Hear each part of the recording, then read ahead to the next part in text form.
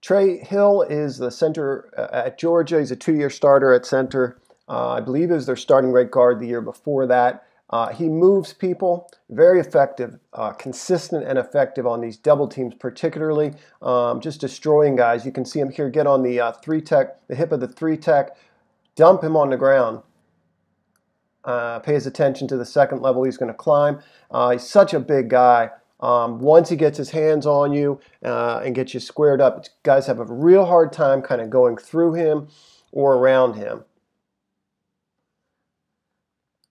Watch him fold the guard here uh, and get this stick, and watch how he kind of works his lower body, um, his legs and his hips, kind of shoulders the defender, uh, and the back cuts it behind him. So he, he's not athletic in the way that someone like Matt Hennessy or something from Temple, but he's way more athletic. You can see uh, not much in the way of hand placement here, a lot of upper body, body strength and shouldering, but he's really working hard to lean and to turn uh, the defender here and get his hips out in front of him and square up so that the back can cut it behind him.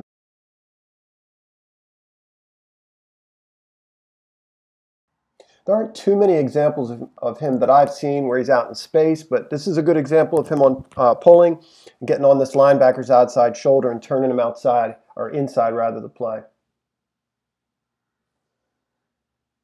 Something he might uh, clean up is he has a tendency, or not a tendency, but on occasion you'll notice he'll, he'll uh, really duck his head, lower his eyes, get flat there, and he'll end up, in this particular, sometimes he's actually able to uh, in spite of that move, the defender. Here he gets shed, which is uncommon. I mean, once he gets into guys, uh, they could move him a little, but it's very, very uncommon for them to get off his block. Um, so I think right here, you don't want to see him kind of duck his head under this, even though he has some success doing that uh, in general. Uh, it's the reason he gets um, shed on this particular play.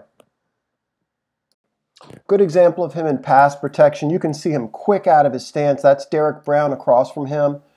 Uh, just a great, great player. Uh, Brown gets his hands inside first, but watch uh, Trey move this arm inside, kind of climb it right there.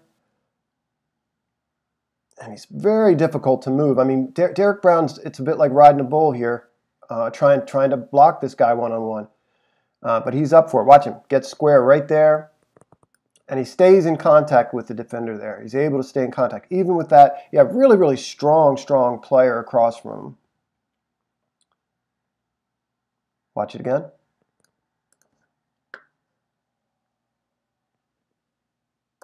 Another example of him coming off a uh, combination, but really getting some movement. You can see just with this, this shoulder into the uh, defender, knocks him back off the ball, climbs up onto the uh, DB here, stays on the block.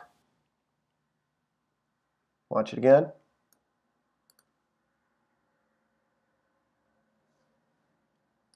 I noticed him as, as aware generally um, versus any kind of stunts or twists. Watch his eyes here.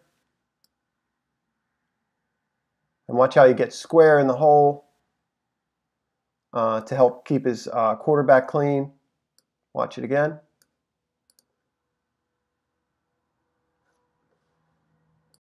Again, he's, he's able to pick up a late blitz. Watch his eyes and uh, watch his feet. Again, he's much more, I think, much more nimble than you would expect for somebody this size. Really like Trey Hill. Um, if you're a team that runs a lot of stretch, he, he may not fit you perfectly.